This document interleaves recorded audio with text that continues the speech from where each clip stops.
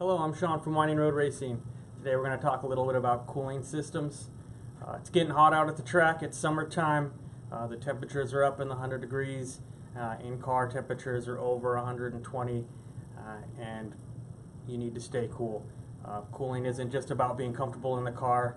Um, it's also about safety and keeping your core temperature down uh, so that you um, don't dehydrate as quickly and you can stay more focused on driving. Uh, I'm going to tell you a little bit about some of the most common cooling systems that are out on the market today, and uh, and we'll go and talk about some of this stuff. So, CoolShirt um, is probably the leading brand in driver cooling right now. They do make a system designed for pretty much any need that you could you could ask for. Uh, basically, this cooler box is designed to be installed inside of your race car. Uh, it pumps cool water. Um, you fill it with water and ice or, or ice packs, and it pumps cool water through the system into a specially designed shirt called a CoolShirt. Uh, there's tubing inside this shirt. It's a little bit difficult to see. That runs on the front and back side of the shirt, um, and it circulates through, uh, keeping your core temperature cool.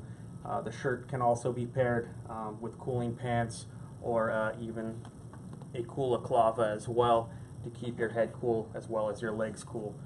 Um, few different style shirts that you can choose from. This is an SFI fire rated shirt, uh, but they do also make a compression shirt as well as a cotton shirt.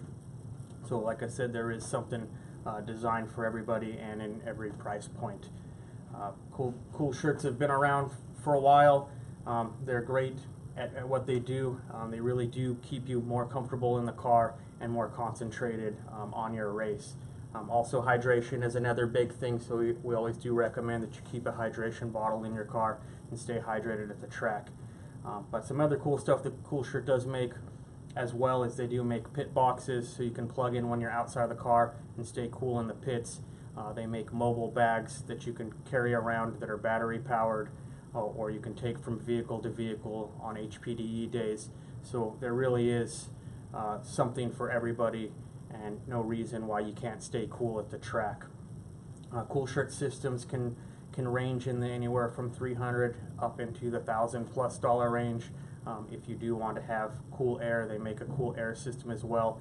Uh, that's a similarly designed box um, that does water and air. Uh, so there is something for everybody. I do recommend you check them out. They're an amazing product.